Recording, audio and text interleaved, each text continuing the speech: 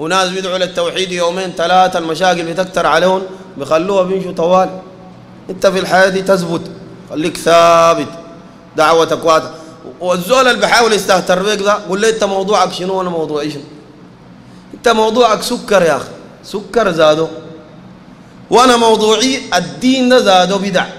انت سكر زادو في السعر وأنا الدين زادو اعظم الدين ولا السكر؟ أنا داير أعرف اعظمياته أنت بتتكلم في حق فلان وفلان. بتقول ده ضعفاء ومواطنين ومساكين. وأنا بتكلم في حق الله سبحانه وتعالى. اعظمياته اعظمياته أنت بتتكلم في قضية فلان. بتقول ده مفكر ودكتور وزور راغي.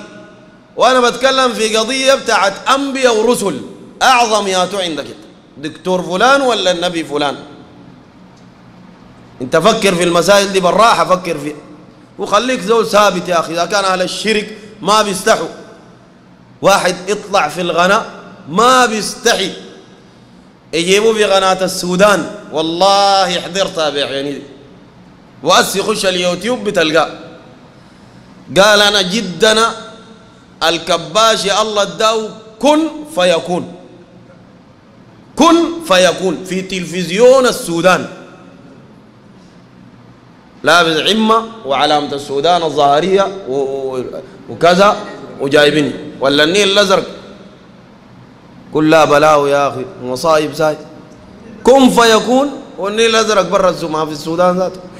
ويا أخي الله قال في القرآن إنما أمره إنما دي أداة حصر. أمره أمر الله تعالى. إذا أراد شيئا أن يقول له كن فيكون. وانشروها في كتب. أنا دل ما هو تراه موضوع ما واضح. نشروا الباطل والضلال والشرك. أنا بتعجب كل العجب. والله بتعجب كل العجب. من زول بيقول أنا ما مع الناس ديل لكن ما تتكلموا فيهم. أنا ما معاهم لكن بس إنتوا ما تتكلموا فيهم. إنت معاهم. إنت ما مشيت بايعت الفقيه لكن إنت معاهم إنت ما جايب خبر.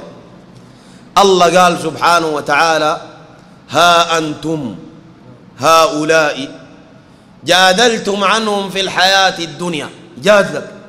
ما بيعملوا كذا بحفظوا. بحفظوا القرآن وهم ضد القرآن. الفائدة شنو؟ هو القرآن نزل على منه على الرسول عليه الصلاة والسلام. الله قال له لو زدت كلمة واحدة بس مش نزل على القرآن؟ خليه يلخبط في الدين. قال له ولو تقول علينا بعض الأقاويل. لأخذنا منه باليمين ثم لقطعنا منه الوتين فما منكم من أحد عنه حاجزين يا أخي تلخبط كذا يقول لك ها أنتم هؤلاء جادلتم عنهم في الحياة الدنيا فمن يجادل الله عنهم يوم القيامة أم من يكون عليهم وكيلا؟ إنت قال القيامة دي بس بيجيبوا صحائف في ناس قايلين القيامة دي كذي واضح وفي ميزان كبير وتعالي انت سمعت اغنيه دي بيجاي سيئة صليت تعال بيجاي حسنة خلاص يلا خش الجنة وده خش النار إنت قايلها كذي بس؟ دي في لكن في حاجات كثيرة ثانية القيامة دي فيها خصومات. الله سماه إن يوم الفصل. شفت القيامة دي خصومات. شغالة. إنك ميت وإنهم ميتون. ده لمنه للرسول عليه الصلاة والسلام. ثم إنكم يوم القيامة عند ربكم تختصمون. في مشاكل ثقيلة بعدين بتتحل. في خصومات. لما يجيبوا ده وده أخوان اشكلوا في قروش. وده وده أخوان اشكلوا في عرض. مسألة بتاعت عرض أو عرض عرض. ويجيبوك انت وفلان مشكلين في شنو؟ والله مشكلين في العقيدة. ماله ده؟ والله عقيدته في البشر. وانت أنا قلت له وحد الله. شاكلني واداني عكاز. أيوه. قال تعالى هذان خصمان اختصموا شنو؟ في ربهم يا أخي. دي الشكل دي, دي النافعة هنا. أنت لما تدافع عن الله. وفي سنن الترمذي حسنه الألباني من رواية أبي الدرداء رضي الله عنه. والله هذا حديث جميل جدا. قال رسول الله صلى الله عليه وسلم من رد عن عرض أخيه. زول يتكلموا فيه بس إنت قمت دافعت. من رد عن عرض أخيه. رد الله عن وجهه النار يوم القيامة.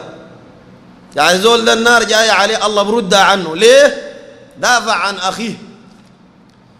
الرواية جاب الترمذي اللفظ ده جابه النووي في رياض الصالحين.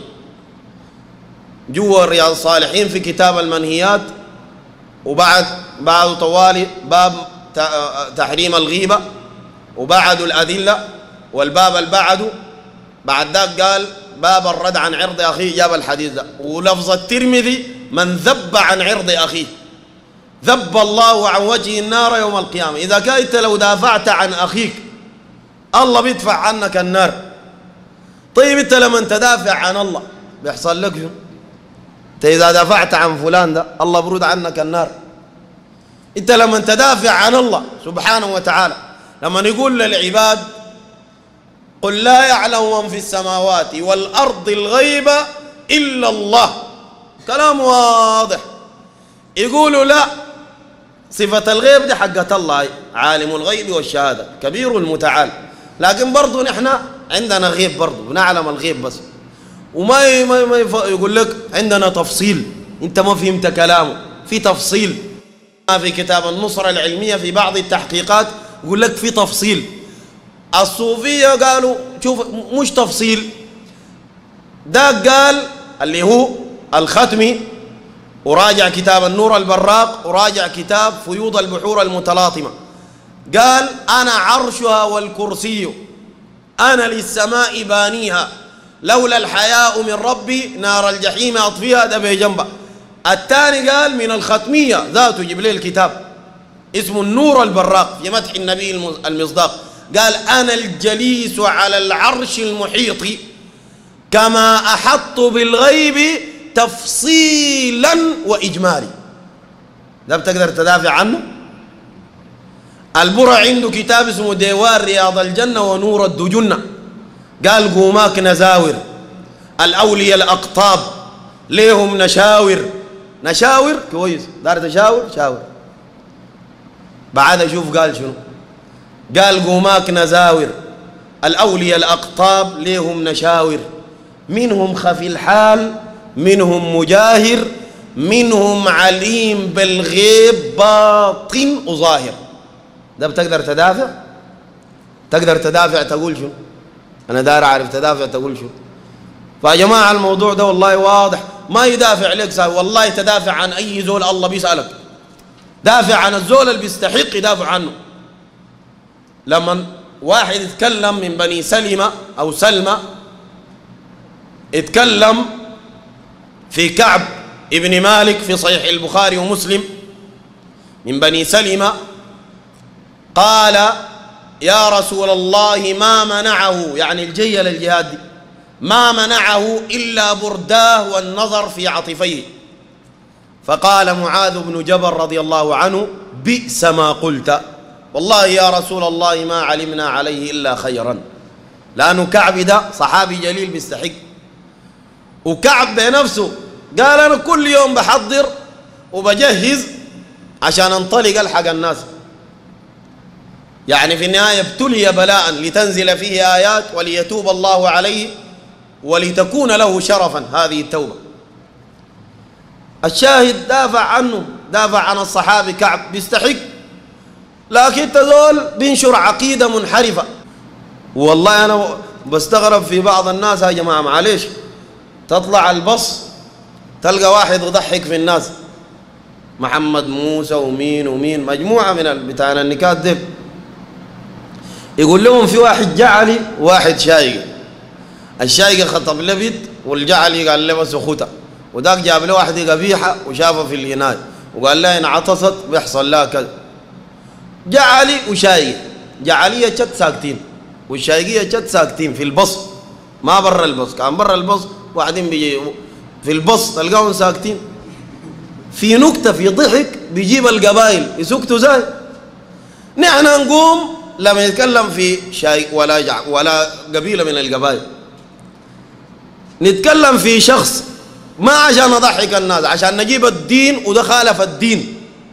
ولو خالفوا في بيته براو يناصحوه براو ما بجوز يجيبوه في الميكروفون. خالف الدين ونشروا برا. ترد عليه يقول لك ما تتكلموا في الناس. وده تلقاه ساكت في النكتة. النكتة اللي جابوا قبائل ساكت فيها. يقول لك ما دارين نضحك ساي أنا إحنا دارين نخش الجنة ساي. إنت دار تضحك أنا دارين نخش الجنة ساي. إنت إنت يا أخي الله يرحمنا يدخلنا الجنة. كلام ذاته. وهو ما بخليك إنت. الغريبة متناقض. أي زول تلقاه عليه باطل يا جماعة بتلقاه متناقض. يقول لك إنت مالك ومال الناس. إنتوا ناس شغلتكم النبز يعني هو انتقدك إنت. يعني هو ما خلاك انت خلاص مش مالك ومال الناس انت قلت لي مالك ومال الناس أنا ذاته من الناس انت مالك ومالي؟ أنا دار أتكلم انت مالك ومالي؟ بتلقى متناقض هو ذاته. يقول لك بس الجماعة ديل جماعة ديل عيب بيتكلموا في الناس. هنا الجماعة يكونوا ما في شيء. يعني هو تكلم في الجماعة اللي يتكلموا في الناس وذلك يتكلموا في الله سبحانه وتعالى. انت لازم تفصل للناس ولازم تاخذ بيديهم ولو شاكلوك. ولو نبذوك ولو أساءوا لك يتحمل الأذى بلغ دعوة الله سبحانه وتعالى أنشر الحق. يا أخي أنا اتعجب وعمك دامس قلت له الكلام ده في التلفون. قلت له يا عمنا والناس ديل قالوا شيخهم بيقول أنا بعلم الغيب وكتبها في كتاب. كذا يا جماعة بالراحة. كذا الزول بالراحة يفكر. زول كتب كتاب اسمه أعلام الطريق. جايبين صورته برا شايل له سبحه اسمه عبد الرحيم محمد وقيع الله لغبه البرعي. كتاب اعلام الطريق غلاف كبدي وجايبين صورته. جوا فتفتح الكتاب جوا قال كباشي كم أدى ولد في كل بلد كم حل عقد كباشي. يربط ويحل في كل محل كباشي. المتوكل لأمر يكل كباشي. من غير مس وتفل كم أدى طفل كباشي. أنا لما نجيب كلامه ده أقول البرعي قال في أعلام الطريق في كتابه ده قال كباشي كذا كذا كذا. أنا لما نقول البرعي قال كذي. الكلام ده بزعل البرعي؟ لو بيزعلوا ليه نشروا إنت ماشي بزعلك. كونه يقولوا إنت قلت كذي بزعلك. إنت كاتبه ليه؟ هل هو بزعلوا ولا بفرحوا بيفرحوا وينشروا عنه. لكن إحنا ما بننشر عنه مدحا وإنما نرد عليه. يقول لك إنتم ما بتردوا عليه. ما نحن ما القرآن قال كذا قال أفرأيتم ما تمنون؟ أأنتم تخلقونه أم نحن الخالقون؟ الجنة ده أنتوا اللي بتخلقوه ولا نحن؟ والله مش قال لك جنة بس. قال لك يا أيها الناس والناس دي لفظة لما تذكر في الأصل بيدخل فيها المسلم والكافر واليهودي والنصراني والوثني والبوذي إلى آخره. يا أيها الناس كلكم. ضرب مثل فاستمعوا له. إن الذين تدعون من دون الله لن يخلقوا ذبابا. مجنا ولو اجتمعوا له. يقول لك لا وقصده كباشي بيدعو لك الله. هو كباشي حيسي ولا ميت؟ وميت وما وكان قصده كذي ما يقوله. ولو قصده بيدعو لك الله ما يقوله. وقال لك كباشي كم أدى ولد. مش كم دعا الله فالله أدى ولد. إلى آخره. وبعدين قال لك من غير مس وتفل. كم أدى طفل. في كلام مفصل أكثر من كذا فليه هو يكتب الكلام؟